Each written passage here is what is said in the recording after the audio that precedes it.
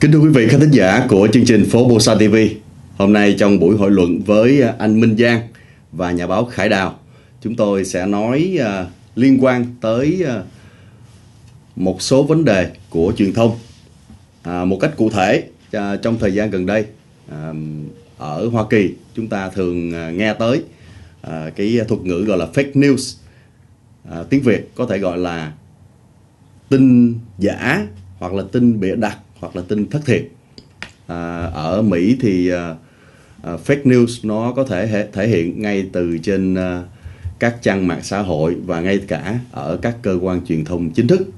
À, ở Việt Nam thì hình thức à, tin giả tin thất thiệt thường thấy xuất hiện à, nhiều ở các trang mạng xã hội cũng như đặc biệt trong thời gian gần đây là trên những kênh YouTube với rất là nhiều hình ảnh tựa tiết tạo ra rất nhiều sự chú ý. Tuy nhiên, à, nếu à, xem xét kỹ, có thể thấy rõ đây là những loại tin thất thiệt, lẫn lộn với lại những cái loại tin à, có thể có một phần nào đó dữ kiện. Chúng ta ngày hôm nay sẽ nói chuyện về tin à, giả, fake news. À, trước hết, à, chúng ta sẽ nói về cái vấn đề, à, thưa hai anh, chúng ta sẽ nói về vấn đề định nghĩa. Thế nào là fake news? À, theo theo anh Minh Giang, định nghĩa fake news là gì? Chính cái bản thân của cái từ ngữ đó đã nói lên vấn đề rồi. Tức nghĩa là những cái tung tin những cái tin mà thất thiệt thôi. Những cái tin gọi là tin giả tin nó không không dựa trên những cái cơ sở là thực tế. Thì thì những cái tin có thể là bị đặt hoặc là mình tự dựng lên. Hoặc là có thể là khi những cái tin mà nó không phải trực tiếp như thế nhưng mà anh xào nấu anh vẫn uh, ờ, dẫn nó đến một anh cứ là mình đặt vấn đề giống như là một cái um, một cái thuyết âm mưu thuyết thuyết âm mưu để mà dẫn đến một cái cái kết quả cuối cùng là như thế chứ thực tế là nó nó không dựa trên à, nó không phải là một sự kiện xảy ra. Hẳn hoi. Thì tôi theo tôi thì tôi nghĩ như vậy thôi.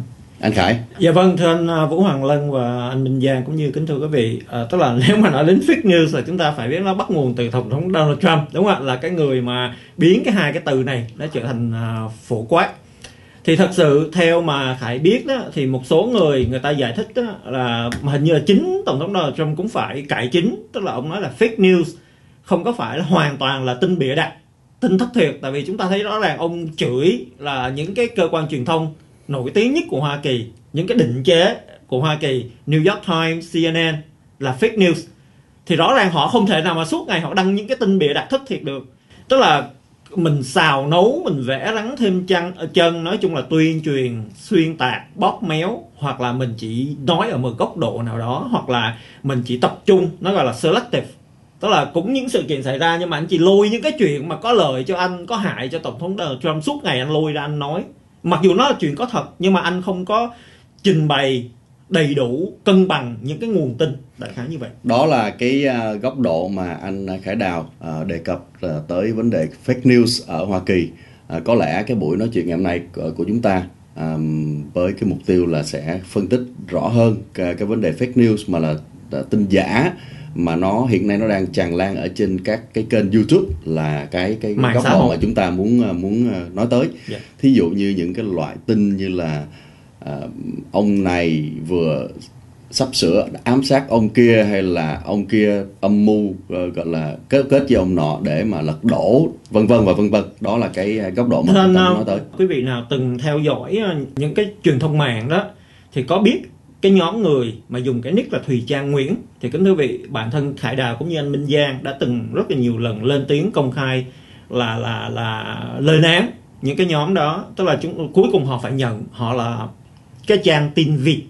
Tức là chính sau khi bị chúng tôi đưa ra bằng chứng khi mà Khải dẫn giải những cái lời trình bày của họ và Khải phân tích ra để mà à, lập luận để mà chứng minh là họ những cái gì mà họ trình bày là hoàn toàn là không có cơ sở à, không tin được thì họ sau đó họ cũng có than vang với những cái người ủng hộ cho họ. Họ nói là bị khải tấn công và họ nói là uh, họ nhận đó là họ chỉ đưa tin việt thôi. Thì có lẽ là ngoài những cái anh minh giang nói phải th- xin thêm được cái chữ tin việt nữa. Theo các anh làm như thế nào để người ta có thể nhận định được đâu là một cái cái cái cái cái, cái bản tin hoặc là một cái video clip gọi là fake news? Tại vì đôi khi uh, tin tức nó lẫn lộn giữa thật và giả. Làm như thế nào để có thể phân biệt được? Cái à, mà mình à, dễ tìm hiểu nhất là thứ nhất là mình à, mình coi cái, cái nguồn xuất phát của nó từ đâu thí dụ như những cái thí dụ như những cái cơ quan truyền thông mà nó lớn á thì dĩ nhiên là người ta có cái bề dày cái lịch sử rồi. Thì nhiều khi những cái tin người ta đưa ra đó thì mình cảm thấy là nó có cái sự có cái niềm tin đối với bạn đọc hơn đối với người xem hơn. Còn à, dí giả lại à, dù cho cái cơ quan truyền thông là chính thống hay là cá nhân hay là bất cứ người nào đi nữa thì cũng phải dẫn cái nguồn tức là những cái tin đó từ đâu có? Ví dụ như chính tôi tôi nói à, về cái cái cuộc, cuộc đời riêng của anh nhưng mà tôi nói là chính ông lên cũng nói cho tôi nghe thì tôi phải dẫn được cái nguồn đó. Tôi phải chứng minh cho ông Khải thấy và những người khác thấy là những cái tin tôi đưa ra nó đúng nó nó thuyết phục được người khác. Còn bây giờ đưa lên giống như tôi nói là trước đây cũng ta cũng có những cái giống như um, những người người ta cảm thấy người ta nó đưa là một cái tin nào đó ta nói à, ông này trong cái bộ trưởng này có bao nhiêu triệu đô la ông kia có bao nhiêu triệu đô la ông nọ có nhà ở đâu nữa. nhưng mà không có chứng minh được thì nó không có thuyết phục được cái cái, cái bạn đọc. Cho nên là thứ nhất là tôi nói là ừ, phải coi cái cái nguồn cái thứ hai là anh phải chứng minh được cái cái uh, cái cái cái lời anh nói những cái tin anh đưa ra nó nó, nó phải thuyết phục. Ví dụ như dẫn một cái nguồn mà của những cái trang báo hoặc là những cá nhân nào đó mà nó nó nó nhỏ xíu hoặc là nó không có ừ, đáng tin cậy thì dĩ nhiên là nó không thuyết phục người khác rồi. Và ừ, và có cái anh đưa tin là chỉ đưa tin thôi. Còn ví dụ như anh bình luận á, thì nó chuyện khác. Còn nếu mà anh đưa tin rồi từ cái tin đó ông đưa ra những cái cái bình luận khác rồi lấy cái bình luận khác làm như một cái tin nữa để mà mà tung ra nữa. Có nhiều khi chúng ta khi mà chỉ cần mở ra mà nhìn thấy cái cái uh, uh, cái bản tin đó cái bản tin video đó cái cái video clip đó với cái cách mà gọi là trình bày uh, về những hình ảnh cắt ghép rồi những cái vấn đề mà những cái tựa giật hết sức là nảy lửa. Cái đó có phải chăng là đã cho chúng ta biết ngay là cái đó có thể là nhiều phần trăm? Nó là fake news uh, nó là tin giả hay không? Dạ vâng uh, dựa vào cái gì? Dựa vào cái uy tín. Đúng ạ uy tín đây có nghĩa là thay vì nói là cái nguồn tin đó từ CNN hay là từ người Việt từ anh Lân hoặc là cái người nào mình tin tưởng thì nếu mà một cái người nào đó mà mình chưa có biết mình chưa có tin tưởng được thì mình dựa vào cái gì kính thưa quý vị? Giống như anh Vũ Hoàng Lân nói tức là theo Khải. À, một trong những cái điều tiền đầu tiên hết là cá nhân cái trang đó hoặc là cái người đó cái nguồn đó thì mình dựa vào mình xem lại cái quá trình hoạt động của họ. Tức là mình lên cái trang đó mình đọc hết những cái tin tức đúng không ạ? Quá trình những cái nguồn những cái nguồn tin những cái thông tin họ đưa ra thì ít nhất mình đọc 100 cái thông tin đã xảy ra thì chúng ta có thể phối kiểm được xác nhận xác minh được là 100 cái tin cũ đó nó có chính xác hay không. Thì từ đó mình suy luận ra à cái trang này nó đáng tin hay không cái nguồn này đáng tin hay không. À, và như, giống như anh Minh Giang nói kính thưa quý vị thì ngược lại mình cũng phải uh, sorry xin phép phải dùng từ không có muốn xúc phạm ai nhưng mà mình phải động não đúng không ạ? Để mình suy nghĩ cái động cơ. Tức là cái trang này cái nguồn này họ có cái động cơ đúng không ạ? Có cái ý đồ họ muốn phục vụ cái mục đích hay là muốn kiếm một cái gì đó hơn. Và theo khải cái chủ trương của khải ít nhất là như vậy. Nếu mà những cái người đó chỉ là những người bình thường đúng không ạ? Lên sinh hoạt bình thường uh, buông uh, gọi là buông gió ạ chém buông gió. Dê, à, chém gió buông dư lê. Có nghĩa là sao? Có nghĩa là ngồi uh, lê đôi mắt đúng không ạ? Thì chúng ta không cần phải tìm hiểu nhiều. Nhưng mà nếu họ tự nhận họ là cơ quan truyền thông họ vận động, kêu gọi, họ đưa ra những thông tin mà có liên quan đến cộng đồng, liên quan đến vận mệnh dân tộc mà họ đưa ra những cái gì quan trọng. Thì khải nghĩ mình phải tuân thủ theo cái um, cái uh, dùng từ gì anh? Tức là cái chủ trương triết lý là một sự bất tín, vạn sự bất tin. Một cách cụ thể, không biết là các anh có còn nhớ hay không, cách đây có lẽ là vài tháng, thì cái nguồn tin gọi là đổi tiền. Đổi tiền ở Việt Nam dường như là phát tán rất nhiều và rất nhiều người uh, gọi là đã tin vào cái nguồn tin đó. Tôi có những cái người từ trong Việt Nam họ liên lạc qua họ hỏi là cái vấn đề đổi tiền như thế nào các anh bên ngoài có tin tức gì hay không để chúng tôi còn chuẩn bị vân vân. Đây là một trong những cái phương thức mà khả nghĩ mình có thể loại bỏ dần để mình phối kiểm mình xác minh. Là đầu tiên hết là thông tin quốc tế truyền thông quốc tế. Có phải vậy không ạ? Tức là những cái nguồn tin nào giống như là thủ tướng chết hoặc là đổi tiền thì khả nghĩ ít nhất là quý vị lên thẳng những cái cơ quan truyền thông chính thống của quốc tế Reuters, AP, CNN đúng không ạ? Hoặc là khải nghĩ như anh Minh Giang có thể xác xác minh là chính nhà nước, nhà cầm quyền cộng sản Việt Nam họ cũng có những cái trang của chính quyền họ cũng sẽ đăng tải những cái tin đó phải nghĩ họ không đến độ dấu tùy cái cái nguồn thông tin tùy cái loại thông tin thì cái đơn giản nhất mình phải tập có thói quen mình phải học hỏi để mình biết phân biệt được khi mà những cái clip video đó hoặc những cái hình đó được ngụy tạo. Anh nói cụ thể hơn một chút xíu à, Có nghĩa- làm như thế nào để người ta phân biệt được? Từ đơn giản nhất là Photoshop. Phải không ạ? Tức là những cái hình ảnh ghép. Thì khải nghĩ những hình ảnh ghép mình tập thói quen để mình tìm hiểu mình ừm, phân biệt một thời gian tự nhiên là mỗi người mình sẽ ờ, gọi là rành hơn thì khải thấy cái góc độ hoặc là nó gọi là cái thun cái cái thun màu, những cái mảng màu, đúng không ạ? Thì những cái đó là một cái đơn giản nhất để mà khải thấy ít nhất nó rất là lộ liễu. Có những cái hình ảnh giống như mới đây khải thấy cái hình ghép hình cái đầu của ông trần đại quang vào cái hình của ông nguyễn bá thanh, đúng không ạ? Là cái góc độ, cái đầu hoặc là cái hình màu nó khác nhau hoàn toàn, nhưng mà vẫn có một số người vẫn là không thèm mà bỏ thời gian để mà nhìn kỹ lại coi cái đó bị photoshop hay không. Ngoài cái hình ảnh thì cái vấn đề mà cái tựa thì anh có cái cách như thế nào để để mà cái đó dạng? là cái mà giống như anh nói kính thưa quý vị giống như ờ, chúng tôi trình bày những cái tin vịt là những gì những cái gì nó là quá gọi là để mà giật view gọi là quá, quá dùng gì anh tin Giật giật, gân, gân giật gân. à, dạ tin giật gân thì đầu tiên hết giả dụ nói ờ ờ, tổng bí thư cộng sản việt nam nguyễn phú trọng chuẩn bị lập quân để lật đổ người này lật đổ người kia thì khả nghĩ nếu mà mình không có truy tầm ra được những cái nguồn tin chính xác như vậy thì ít nhất nếu mà quý vị chịu khó xem những cái nguồn tin chính thống của quốc tế hoặc là Việt Nam thì phải có những cái nguồn tin khác nó liên quan. Có phải vậy không ạ? Nó không chính thức là nói ông đó ông ông tiêu diệt người này bắt bớ người kia nhưng mà phải có một cái sự số sự kiện gì khác là nó liên phối quan. kiểm phải phối kiểm từ Dạ nhiều vâng. nguồn tin khác nhau. Nếu mà nó quá giật gân thì giống như chúng tôi trình bày là thường thông thường là nó sẽ là không có thật Dạ, xin mời anh Linh Giang anh Giang à, anh ngoài cái vụ mà à, một cách cụ thể đó ngoài cái vụ đổi tiền là một cái vụ mà gọi là fake news gọi là nhiều người chú ý. Anh anh ghi nhận trong thời gian vừa qua là những cái vụ fake news nào là anh anh có để ý qua? Thì tôi thấy là cái cách mà phân biệt cái fake news nhiều khi mình phải có um, à, cái cái kiến thức nữa. Nhiều khi mình phải phải coi thử coi nó nó có hợp lý hay không cái tin cái tin nó đưa ra nó có dựa trên cái cơ sở nào không. Ví dụ như mình nếu mà không đủ cái bản lĩnh để mình mình phối kiểm cái đó thì mình phải đọc những cái ờ, tin khác của những người mà họ chuyên môn về cái đó, họ có cái ý kiến, rồi mình coi cái ý kiến của họ đưa ra có thuyết phục hay không. Giống như cái dụ như tôi nói trở lại như cái câu anh hỏi là cái gì, cái vụ đổi tiền. Thì bây giờ những cái nhà mà chiến lược gia hay là những người kinh tế gia người ta sẽ phân tích rất là kỹ. Bởi trong cái điều kiện Việt Nam như hiện nay người ta đã mở rộng ra cái kinh doanh thế giới bao nhiêu nước nó đầu tư ở bên Việt Nam, hàng tỷ tỷ đô la nó nằm trong đó. Nếu mà một cuộc đổi tiền giống như là trước năm 80 chẳng hạn để mà làm mất giá các cái đồng tiền hoặc là theo kiểu như mà người ta nói là cướp tiền của người khác đó, để mà cào bằng hết, thì cái chuyện đó không thể xảy ra được nữa trong cái điều kiện như mà mà làm ăn kinh tế như này bởi vì thời điểm mà đổi tiền trước kia đó là trong lúc Việt Nam đang đóng cửa, chỉ có Việt Nam thôi mà đổi tiền để mà đánh tư sản, để mà làm nhiều cái việc khác nữa. Thì lúc đó người ta nhận thức như thế, người ta làm như thế. Rồi bây giờ là không thể nào chấp nhận được cái chuyện này. Cho nên một cái chuyện mà những cái nhà kinh tế học mà có thể nói là người ta học ở cấp độ mà coi như là sơ khai nhất, người ta vẫn đều biết là chuyện đó không thể nào chấp nhận được rồi. Cho nên là thành ra mà mình không có đủ khả năng thì mình nói. Có nhiều người họ chống cộng thì họ nói là, ôi gì cộng rồi nó không không thể tin được. Thì cứ hồi trước nó cũng đã đổ tiền đó, thì sao? Thì bây giờ nó cứ cứ đổi thôi. Mình nói như thế là mình không dựa trên cơ sở nào hết. Đó, còn thời gian gần đây thì mình thấy là, thì cái mấy cái tin Việt thì rất là nhiều tôi nói là như là, đó như gần đây nhất là cái vụ Trịnh Xuân Thanh. Đấy, rồi bây giờ là nhảy qua cái vụ ờ, đó không gài là cái sự vắng mặt của Trần Đại Hoan rồi các thứ này kia nào người ta tung rất là nhiều những cái tin mà coi như là là họ giật những cái tiết ờ, rất là là là coi như là giật gân.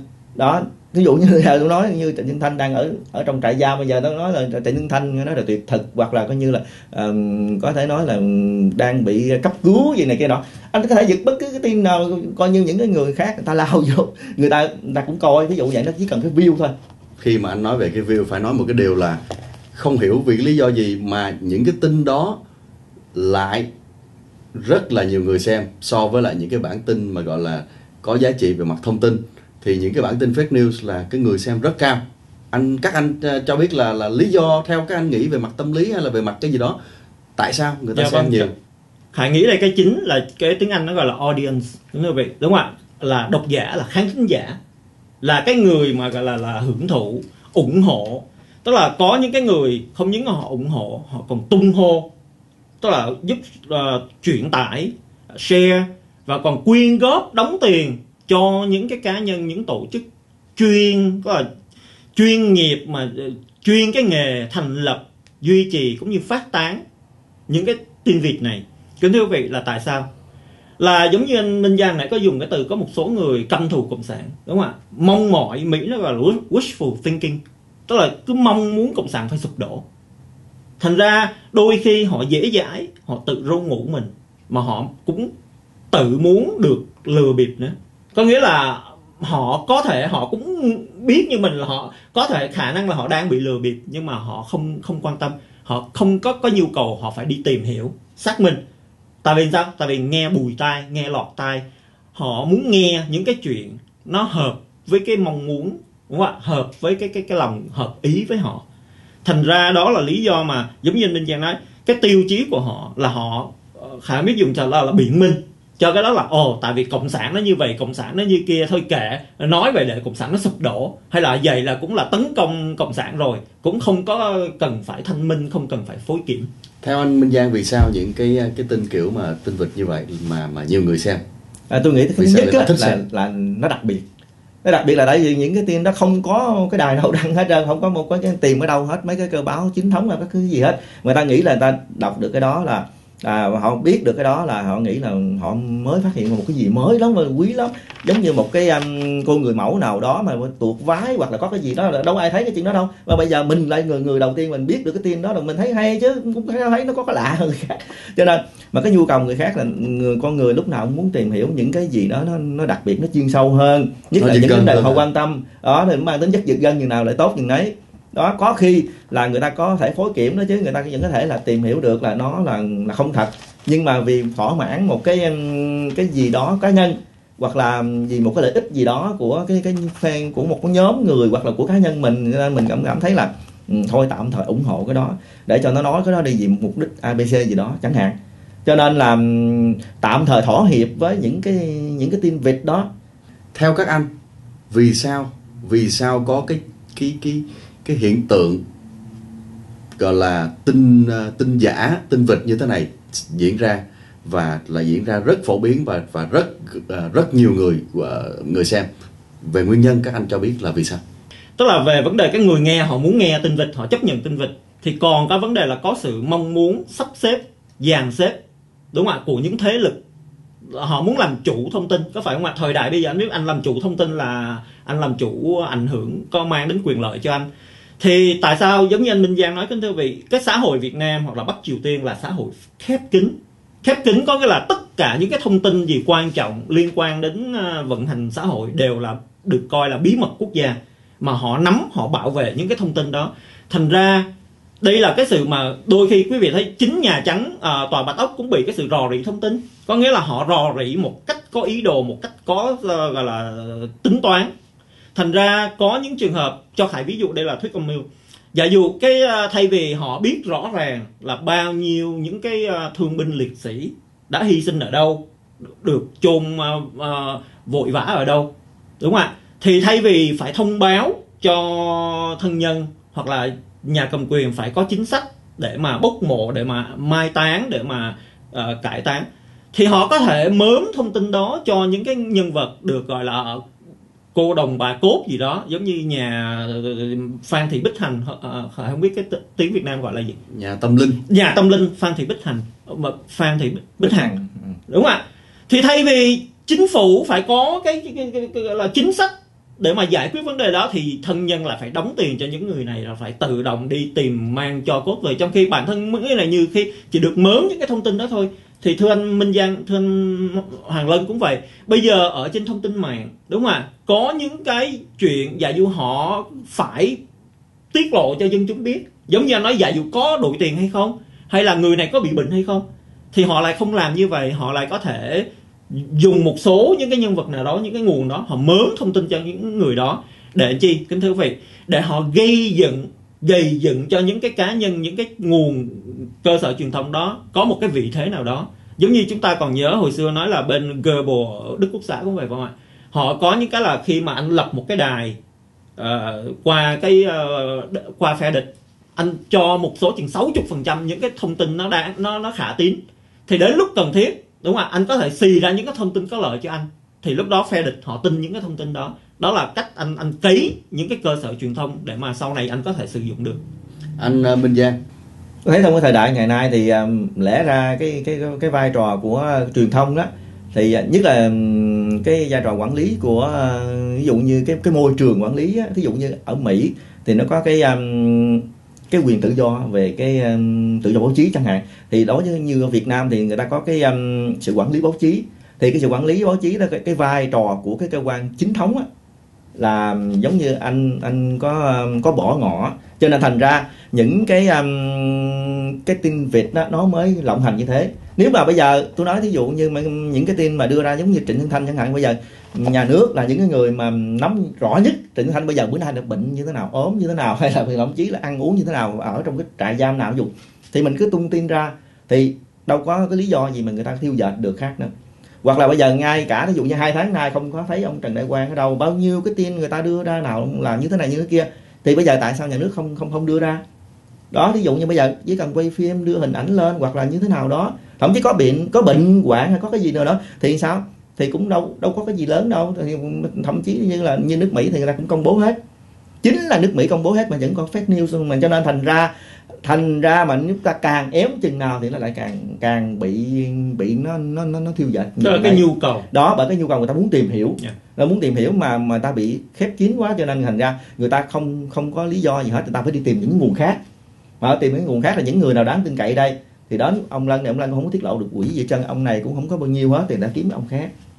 Kiếm chỗ này chỗ kia nọ. Những cái người khác thì lại là không đáng tin cậy. Nhưng mà cũng thỏa mãn được một góc độ nào đó. Nhưng nhưng, Đấy. nhưng mà thành ra mấy anh thấy giống như ờ, thời gian trước chúng ta có những cái trang như quan làm báo chân dung quyền lực đúng không ạ? Thì có rõ ràng họ chỉ cần có một cái nguồn thông tin nội bộ là họ tạo ra được một cái thế lực họ tạo ra được một cái ừm, sức mạnh. Đó là ý khải muốn trình bày là họ muốn làm chủ thông tin.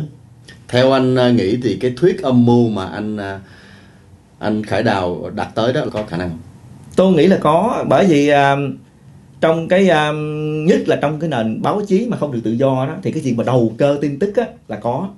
Thì khi cái những cái người đầu cơ tin tức đó thì người, người ta có thể làm là cái nguồn người ta sẽ tung ra những cái tin nào đó mà có lợi cho cho cái ít nhất là um, cho cái mục đích nhà- nào đó. Ví dụ như con cho cá nhân hay cho phe nhóm hay cho bất cứ một cái nào đó. Cho nên người ta sẽ tung ra từng chút từng chút từng chút. Thì tôi cũng trở lại vấn đề từ đầu là tại vì không có tự do báo chí với không có những cái um, à, điều kiện mà mình minh bạch quá công khai quá. Đó giống như Mỹ thì bây giờ người ta cái gì người ta cũng công khai hết. Ở bên đảng này đảng kia đảng nọ thậm chí là bây giờ nó còn chen vô nó xen vô coi tới email của nhau hoặc là họ tìm hiểu những cái chuyện đã xảy ra đâu ba năm trước hai năm trước. Cho nên những cái à, gì nó càng minh bạch chừng nào thì à, thì cái fake news nó càng ít đất sống nhiều nhiều chừng ấy. Cho nên thành ra mình phải đẩy lùi đẩy lùi cái đó bằng những cái cái tin chính chính thống. Thì cái vai trò của à, của truyền thông chính thống là phải phải hoạt động nhiều hơn nữa. Phải cho người ta có đất sống nhiều hơn người ta sẽ được diễn nhiều hơn. Nói chung là những cái tin gì họ đào đào xới được họ tìm hiểu được phải cho họ họ, họ bung lên. Rồi họ không bung lên thì họ họ phải bằng cách nào? Ví dụ như giờ tôi là người, người báo. Phóng viên mà tôi viết cho một tờ báo lớn đây nhưng mà tờ báo lớn này cái chủ trương không cho đăng cái tin này thì tôi phải đưa lên cái facebook của tôi chứ. Hoặc là tôi không có tôi mượn Nhưng mà em, nếu em vậy- vợ tôi là ví dụ như là một người nào đó đưa lên thì những cái tin đó là nó sẽ làm cho bị nhiễu nhưng mà anh Minh Giang nghĩ là nếu vậy là những cái người uh, tác nghiệp những cái người mà coi như là hoạt động trong lĩnh vực truyền thông báo chí ở Việt Nam có nên đòi hỏi cái quyền đó không? Đòi tranh đấu để mà có cái quyền được được tiếp cận thông tin không? Thì uh, nói chung là tiếp cận hay không là cái cái quyền của những người mà họ bạn đọc á. Cái đó là cái quyền của những người bạn đọc những người mà họ nghe đó họ họ họ, họ thấy đó họ phải đó có, có cái quyền đó.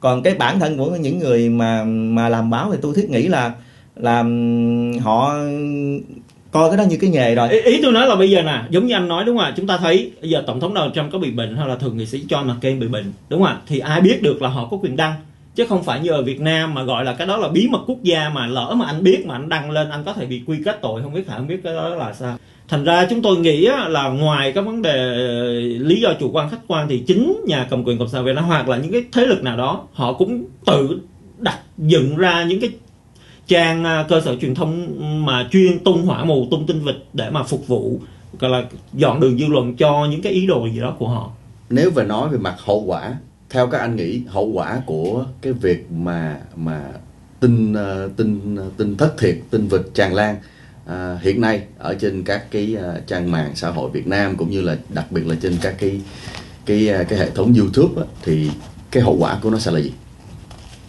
Cái hậu quả của nó là nó làm cho ừ, cái người ta sẽ không có tin vào những cái hệ thống báo chí nữa. Nói chung là nó làm mất cái um, à, mất đi cái cái uy tín của cái giới um, truyền thông nói chung. Đó mà thì những cái có thể là những cái cá nhân thôi hoặc là những cái nhóm nhỏ nào đó thôi mà người ta chủ trương theo cái kiểu đó thì họ vô tình họ làm cho hoặc là họ có cố ý thiệt nhưng mà họ làm cho bị ảnh hưởng chung của cái giới truyền thông. Thì bây giờ với cá nhân cái người đó họ tự đốt uy tín họ. Tức là khi mà nghe tên cái một ông đó, ông nó chém gió, ông nó buông gió như thế nào đó, thì thành ra những cái tin ông đó đưa ra là chỉ đọc cho vui thôi. Hoặc là có khi mà không có chuyện gì làm nữa, mới mới mới coi đó cái tin đó. Có lẽ chúng ta phải nên tự đề cao cảnh giác. Có phải không ạ? Có nghĩa là phải có cái lòng tự trọng. Đừng có vì thỏa mãn cái nhu cầu muốn nghe những cái lời bùi tai vâng ạ? Những cái thông tin nó có vẻ hợp với cái lòng mong muốn của mình, rồi mình dễ dãi rồi mình gọi là chấp nhận những cái thông tin đó. Thì giống như chúng tôi trình bày khi mà chúng ta chấp nhận chúng ta share lại uh, người Việt Nam chúng ta hay có cái, cái cái kiểu mà giống như phải nói mình không chịu phối kiểm không chịu xác nhận rồi mình nghĩ đâu phải lỗi tôi đâu tôi đâu có là phải là cái người tung ra cái tin vịt đó đâu. Nhưng mà chúng ta phải hiểu rằng nếu mà chúng ta tôn trọng sự thật đúng không ạ thì chúng ta không thể nào lưu truyền loan truyền buông gió buông dư lê những cái chuyện mà chúng ta chưa có phối kiểm mình thấy trong cái nước Việt Nam thì à, kể cả ông à, Võ Văn Thưởng tức là cũng đã từng nói là phải làm sao cho cái báo chí chính thống là đóng vai trò chủ đạo tức là phải à, lãnh đạo được cái dư luận. Tức là mình phải làm sao phải chủ động đưa tin để mà mà mà mà trước dư luận tức là phải phải dẫn đầu. Thì à, thì muốn như vậy mình mình phải minh bạch. Và tất cả những cái vấn đề lớn nhỏ nào đó thì báo chí cũng phải lao vào. Tôi nói và do mình mình cũng không có những cái khoản nó gọi là những cái vùng cấm. Nhưng mà hình như là nhìn vào Việt Nam hình như có nhiều cái vùng nó cũng không phải là mình gọi là cấm hoàn toàn nhưng mà gần như là hạn chế. Tức là mình thấy có những chuyện như giống như là về văn hóa về xã hội về cái này kia nọ thì báo chí lao vào nhanh lắm. Nhưng mà những chuyện mà đụng chạm gì với chính trị hay về những ảnh hưởng về cái vấn đề mà mà mà mà gọi nguyên tắc á mà ảnh hưởng tới cái thể chế, thế này kia nọ thì hình như là ừ, phải chậm chạp lắm. Có khi là cũng phải đợi coi như người ta phải quơ cái gậy như thế nào, người ta điều khiển như thế nào, anh mới follow up theo đó. Thì cái chuyện đó là nó nó làm cho cái cái cái hoạt động của báo chí nó có phần nó hơi bị ờ, bị bị sượng cứng. Có những lúc mà nó nó bị những cái tin vịt nó nhảy vô, rồi thành ra nó, có khi nó nó lại nằm trong đó luôn. Nó nó nó hoạt động rất là mạnh luôn và từ đó báo chí chính thống là phải chạy đằng sau. À, thì, báo thì tức nghĩa là lúc đó, có khi anh lại nằm im luôn nữa anh không anh không quay lại nữa anh không chạy luôn anh làm như cái chuyện đó không có nữa anh không, không biết luôn. Tức nghĩa là anh không được quyền làm đụng chạm tới cái chuyện đó anh không được quyền nói luôn. Thí dụ như vậy thì có những người họ đặt vấn đề như thế.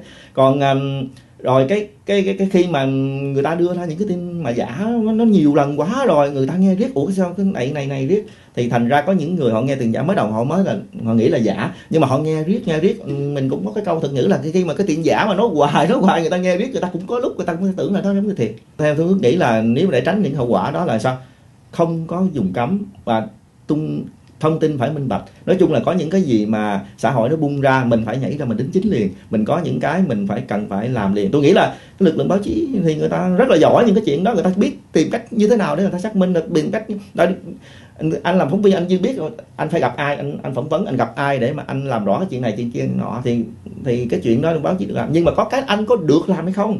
Với anh làm anh có được đăng hay không? Anh có được đưa lên hay không? Chứ còn mà mà thiệt mà nói nếu nói mà báo chí không biết cách làm với, đúng. Người ta rất là giỏi người ta làm với phải nghĩ người dân đúng không ạ? Người ta bây giờ dân trí cao lắm rồi không phải như thời cách đây mấy trăm năm mà mình tức là nhà cầm quyền phải kiểm duyệt. Tức là phải nói là cái nguồn tin này là dân chúng không cần biết nguồn tin kia dân chúng không cần biết. That's why là phải chúng tôi luôn ủng hộ là uh, cổ động cho vấn đề tự do báo chí nói tới đây liên quan tới cái việc truyền thông chính thống có những lúc không ờ, đưa tin ra mà có những cái à, cái nguồn mà không chính thống lại đi trước truyền thông chính thống. Chúng tôi muốn nói tới cái vai trò rất là đặc biệt của một nhân vật đó là nhà báo Huy Đức với cái trang Facebook là Trương Huy Sang. Trong thời gian gần đây cho thấy là nhà báo Huy Đức đã có đưa ra vài lần và đã được kiểm chứng những cái tin tức của anh đưa ra trước à, báo chí chính thống và đã được chứng minh là nó xảy ra đúng như vậy. Các anh à, có thể cho biết một vài cái ý kiến liên quan tới cái cái cái cái, cái trường hợp lạ lùng này.